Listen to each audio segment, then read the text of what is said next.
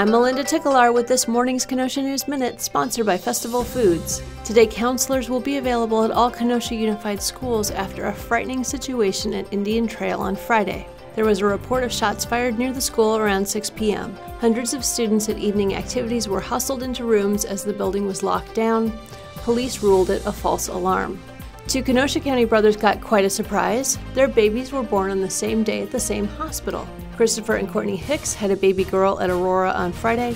Then, seven hours later, Matthew Hicks and Ollie Osheim had a baby boy. Kenosha's holiday spirit shined at several events this weekend. This year, it's it's bigger than we've ever done it. 63 Kenosha police officers took kids shopping for toys and gifts at Meijer. At St. Joseph Catholic Academy, 875 kids enjoyed an afternoon of gifts, fun, and a visit with Santa, and Chabad of Kenosha lit the first candle on the menorah at Civic Center Park. For more, check KenoshaNews.com and pick up the Kenosha News.